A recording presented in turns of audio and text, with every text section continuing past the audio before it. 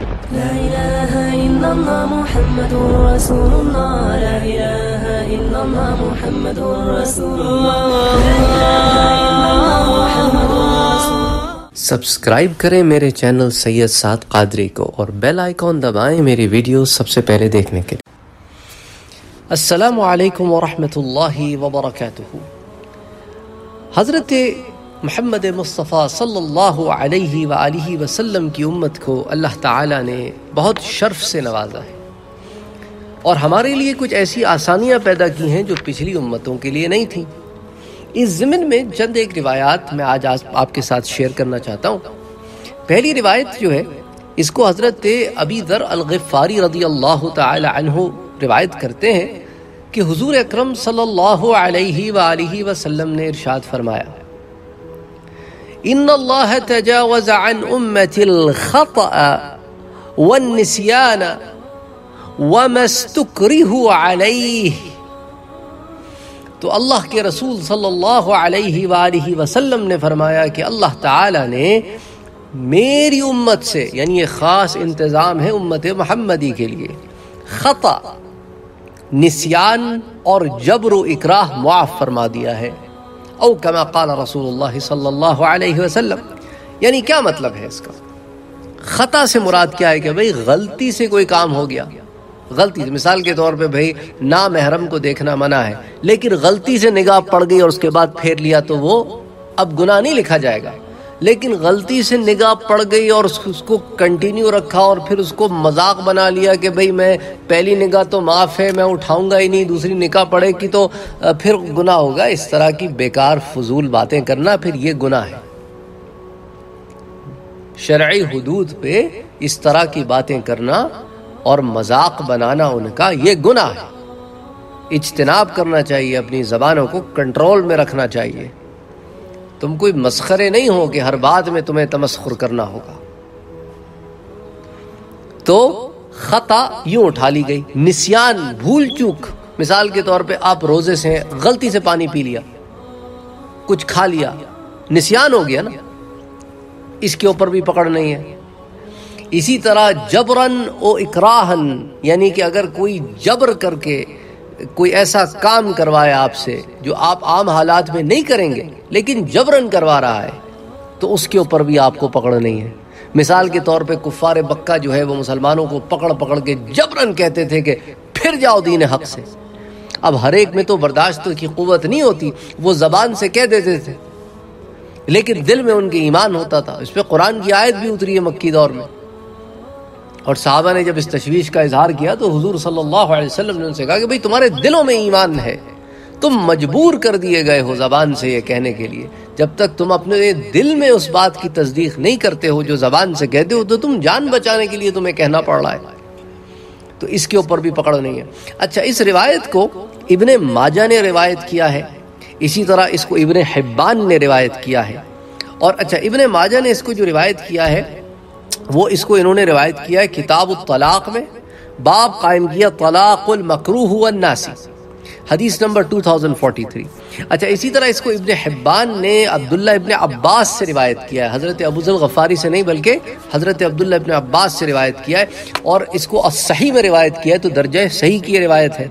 اچھا اس کو امام حاکم المستدرک میں روایت کرتے ہیں اور ساتھ کہتے ہیں ہاذا حدیث صحیح. اچھا امام ابن حبان نے تو اس کو حدیث نمبر 7219 کے تحت اپنی صحیح میں روایت کیا اور امام حاکم نے اس کو حدیث 2801 کے تحت۔ علاوہ جی اس کو امام دار قطنی نے سنن میں روایت کیا ہے، ابن ابی شیبہ نے المصنف میں روایت کیا ہے۔ اسی طرح اس کو عبد الرزاق نے المصنف میں روایت کیا ہے۔ اسی طرح اس کو الطحاوی نے شرع المعانی الآثار میں روایت کیا، امام بحقی سنن القبرہ میں لاتے ہیں۔ امام طبرانی نے المعجم الصغیر میں روایت کیا ہے اور پھر معجم الاوسط میں بھی لائے ہیں اور پھر معجم الکبیر میں بھی لاتے ہیں۔ اسی طرح یہ مسند الشامین میں بھی آتا ہے۔ کئی روایت، کئی حدیث کی کتابوں میں یہ روایت کثرت سے موجود ہے اور یہ درجہ صحیح کی روایت ہے۔ اچھا ایک اور روایت آپ کے سامنے پیش کرتا ہوں۔ یہ بھی درجہ صحیح کی روایت ہے۔ حضرت ابو حریرہ رضی اللہ تعالیٰ عنہ اس کے راوی ہیں، روایت کرتے ہیں کہ حضور اکرم صلی اللہ علیہ وآلہ وسلم نے ارشاد فرمایا کہ ان اللہ عز و جل تجاوز لأمتي عما حدثت به أنفسها ما لم تعمل أو تكلم به. أو تكلم به. اب یہ جو ہے نا، بہت خوبصورت بات ہے۔ ان لوگوں کے لیے جن کے دلوں میں شدید وسوسے آتے ہیں، الٹے سیدھے خیالات آتے ہیں، بڑے پریشان ہیں۔ یعنی ہر ایک دو دن کے بعد ایسے کامنٹ چینل پر سوشل میڈیا پر ملتے ہیں۔ لوگ پوچھتے ہیں جی حضرت یہ مسئلہ ہو گیا وہ مسئلہ ہو گیا۔ ذہن میں وسوسہ ذہن میں خیال آ رہا ہے۔ سمجھ نہیں آتا بڑا پریشان ہوں۔ اور شدید خیال آتے ہیں ایسے خیال آتے ہیں کہ میں تو بڑا پریشان ہو گیا ہوں۔ سمجھ نہیں آتا میں مسلمان رہا بھی کہ نہیں رہا۔ تو حضرت ابو حریرہ کی یہ روایت جو ہے درجہ صحیح کی روایت ہے۔ اس میں اللہ تعالیٰ نے, فر... نے حضور نے فرمایا کہ اللہ تعالیٰ نے میری امت سے ان کی دل کی باتوں یعنی ان کے وسوسوں اور خیالات کو معاف فرما دیا ہے۔ جب تک وہ اس پر عمل نہ کرے یا زبان سے نہ کہے۔ ٹھیک ہے، عمل نہ کرے اور زبان سے نہ کہے۔ تو اب دلوں میں یہ جو الٹے سیدھے خیالات آتے ہیں نا، یہ شیطان وسوسے ڈالتا ہے کیونکہ تمہارے دل میں ایمان ہے۔ تو وہ تم سے کھیلتا ہے اور تم کھیلنے نہیں دیتے اس کو۔ تم عمل نہیں کرتے اس کے وسوسوں پہ۔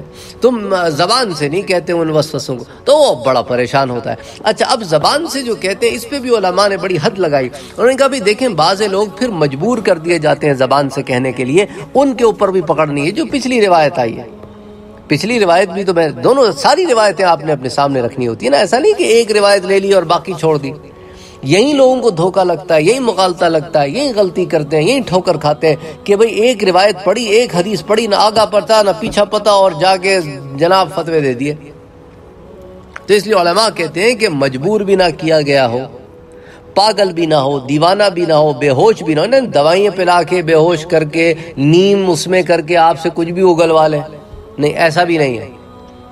کوئی انسان کو ان کلمات کو کہنے سے کفر کی حد اس پر اس وقت لگے گی جب وہ کفریہ کلمات قصدن جان بوجھ کر ہوش و حواس میں عقل سلیم کے ساتھ ارادتاً جو کہہ رہا ہے اس کو مانتا بھی ہے دل میں تو پھر کفر ثابت ہو گیا۔ ٹھیک ہے؟ تو اللہ تعالیٰ کا کتنا احسان ہے۔ اچھا یہ جو روایت آپ کے سامنے ابھی ذکر کیے اسے امام مسلم صحیح میں روایت کرتے ہیں اور کتاب الایمان میں لاتے ہیں۔ اس سے آپ اندازہ کریں امام مسلم کا اس ضمن میں کیا خوبصورت عقیدہ ہے کہ اس کو عقیدے کے ضمن میں، ایمان کے ضمن میں لاتے۔ ہیں اچھا پھر باپ قائم کیا کہ تجاوز اللہ عن حدیث النفس والخواطر بالقلب اذا لم تستقر۔ ٹھیک ہے، یہ جو نفس کے اندر آپ کی حدیث ہوتی ہے، نفس کے اندر حدیث سے مراد ہے نفس کا کلام، نفس کا کلام اندر ہوتا ہے نا تمہارے۔ تو یہ جو نفس کا کلام ہے، یہ باضابطہ انہوں نے باپ قائم کیا، امام مسلم نے۔ کچھ کہتے ہیں، یہ جو ترجمت الباپ قائم کرتے ہیں نا امہ حدیث، اس کا ایک مقصد ہوتا ہے۔ ان کو پڑھ کے آپ کو اندازہ ہوتا ہے، فہم الحدیث پیدا ہوتی ہے۔ اچھا تو انہوں نے باضابطہ جو باپ قائم کیا ہے کہ نفس کی حدیث۔ اور خواتر القلب یعنی دل میں ایسے خیالات کا ابھرنا، رمق پیدا ہونا۔ لیکن پھر یہ ایسے خیالات ہیں کہ جو حد سے تجاوز کرنے والے اللہ اور اس کے رسول کے معاملے میں، لیکن ان کے اوپر پھر مواخذہ نہیں ہے۔ اچھا یہ حدیث نمبر 127 ہے۔ ابن ماجہ اس کو لے کے آتے ہیں کتاب الطلاق میں۔ باب من طلق فی نفسی ولم یتکلم بھی کہ وہ جس کے نفس کے اوپر تو القاء ہوا ایک بات، لیکن اس نے اس کو ادا نہیں کیا۔ اچھا پھر اس کے بعد اس حدیث نمبر 2040 اسی طرح اس کو سنن النسائی، سنن القبرہ میں امام نسائی لاتے ہیں۔ حدیث نمبر 5628 اسی طرح اس کو امام احمد مسند امام احمد میں لاتے ہیں. حدیث نمبر 7464 uh, پھر ابن خزیمہ بھی اس کو صحیح میں لاتے ہیں. تو صحیح مسلم میں بھی آ گئی اور صحیح ابن خزیمہ میں بھی آ گئی. حدیث 898 uh, uh, اچھا پھر ایک اور درجہ صحیح کی روایات کی کتاب ہے. ابن حبان کی صحیح. اس میں بھی یہ روایت آتی ہے 4335 پھر اس کو ابن ابی ابن ابی شیبہ المصنف میں لاتے ہیں۔ اسی طرح ابو یعلا المسند میں لاتے ہیں۔ حدیث نمبر 6389 اور اس کو امام بحقی شعب الایمان میں لاتے ہیں۔ حدیث 332 تو کتنی کتب حدیث میں یہ بات آپ کے سامنے آ گئی ہے کہ اللہ عز و جل کا اس امت پر کتنا خاص احسان ہے۔ اور اللہ عز و جل کتنا کرم فرمایا ہے اس نے اس امت پر۔ کتنی چیزیں جو پچھلی امتوں پر جن کی پکڑ تھی یا ان کے لیے پابندیاں تھیں، ہمیں کتنی آزادیاں مل گئی ہیں۔ ہم جہاں چاہے پاک زمین پہ نماز پڑھ سکتے ہیں اور ان پر یہ قید تھی کہ نماز تمہاری صرف مسجد میں ہوگی اور مسجد کے بغیر تمہاری نماز نہیں ہوگی۔ اور سبحان اللہ ہمارے لیے اس امت کے لیے اللہ نے تیمم کی آسانی پیدا کر دی ہے۔ سبحان اللہ سبحان اللہ یعنی اب آپ یہ دیکھیں نا کہاں پچاس نمازیں پڑھنے تھی، اب پانچ نمازیں پڑھتے ہیں۔ پھر ہر نماز میں بھی اللہ تعالیٰ نے ٹائم دے دیا، بھائی اس ٹائم سے اس ٹائم تک، ایسا نہیں کہ بس آن دا ڈاٹ پڑھنی ہے۔ ایک بجے اگر زہر نہیں پڑھی تو بس گئی نماز۔ ایسا بھی نہیں ہے۔ کتنی آسانی ہے، سبحان اللہ۔ سبحان اللہ۔ یعنی بندہ اگر دیکھے اور سوچے تو کہے کہ باری تعالیٰ، بے شک ہم تیری کس کس نعمت کو جھٹلاتے ہیں۔ اچھا ایک اور روایت آپ سے شیئر کرتا ہوں اس زمین میں، چونکہ بات سے بات نکل رہی ہے، تو ایک اور روایت آپ کے ساتھ شیئر کرتا ہوں۔ اور اس کے بعد یہ بھی امام طبرانی کہتے ہیں کہ اس کے جو رجال ہیں اس روایت کے، رجال کہتے ہیں وہ جو سند میں لوگ ہوتے ہیں نا، رجل جو ہے عربی زبان میں آدمی کو کہتے ہیں، رجال جمع ہے۔ حدیث کی اصطلاح میں اصطلاح میں رجال ان لوگوں کو کہتے ہیں جو سند میں لوگ ہوتے ہیں نا، فلاں نے فلاں سے روایت کیا، فلاں نے فلاں سے روایت کیا۔ تو اس کے جو رجال ہیں وہ سب کے سب صحیح ہیں، الصحیح ہیں، درجہ صحیح پر ہیں۔ امام طبرانی کہتے ہیں اچھا یہ جو روایت ہے، اس کو محجن بن الادرع السلمی رضی اللہ تعالی عنہ محجن ابن الادرع السلمی۔ وہ روایت کرتے ہیں کہ حضور اکرم صلی اللہ علیہ وآلہ وسلم نے ارشاد فرمایا کہ ان اللہ رضی لهذه الامت اليسر وکرہ لها العسر قالها ثلاثا۔ حضور صلی اللہ علیہ وآلہ وسلم نے فرمایا کہ ان اللہ اللہ نے ان اللہ رضی لهذه الامہ اس امت کے لیے خاص ایک انتظام کیا ہے۔ کیا؟ اس امت کے لیے آسانی کو پسند فرمایا الیسرا وَكَرِهَ لَهَا الْعُسْرَى اور اس کے لیے تنگی کو ناپسند فرمایا ہے اور یہ جملہ قَالَهَا ثَلَاثًا۔ حضور صلی اللہ علیہ وآلہ وسلم نے یہ جملہ مبارک تین مرتبہ بیان فرمایا یعنی اس سے پتہ چلتا ہے آپ نے اس پہ ایمفیسس کے لیے تکرار کی اس کے اوپر تاکہ یہ بات سب کے ذہنوں میں بیٹھ جائے اور یہ بات بالکل تاکیدن بیان کی کہ اللہ تعالیٰ اس امت کے ساتھ آسانی پیدا فرمایا ہے اور مشکلات نہیں پیدا فرمائی۔ اللہ تعالیٰ کا بہت کرم ہے۔ اچھا اس حدیث کو امام طبرانی نے المعجم الکبیر میں روایت کیا ہے۔ حدیث نمبر سات سو سات۔